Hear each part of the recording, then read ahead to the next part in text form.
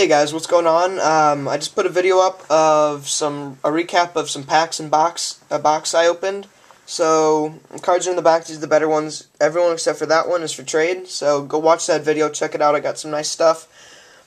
Uh, but right now I'm just gonna do a quick recap video of a trade I had with one of my friends. Uh, I'm just gonna go through them real quickly. Uh, let's see. I'll go through the PC cards last.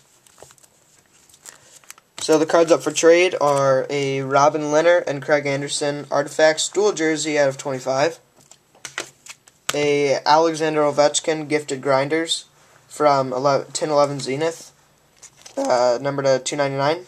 That's up for trade. All these cards are up for trade. Uh, Jake Gardiner Young Gun Canvas. That's really nice. Anybody likes that? I know Leaf, Leafs, Leafs fans will.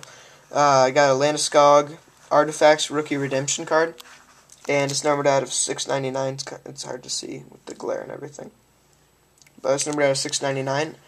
And that's pretty cool. So if anybody likes that. And then I got a really nice 0506 honorable numbers from the Cup of Marek Svatos. It's a really cool looking patch, and it's numbered 8 of 40. That's a really cool card, guys. So if anybody wants that, let me know figure out a trade. Uh, so that's really cool, guys.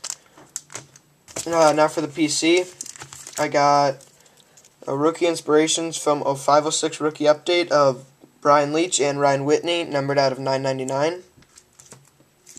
Uh, Carey Price, Fabric of the Game, numbered 299, numbered out of 99. Uh, Prize Prospects Auto Patch of Daniel Girardi, numbered to 399. And last, I got this card back. It's an Evgeny Grachev signature patches, two color out of 75. So thanks guys for watching. Go check out Baseball and Hockey 19. That's who I made the in-person trade with. That was pretty close to me. So, yep, go check out the video of the boxes they opened, guys. And thanks.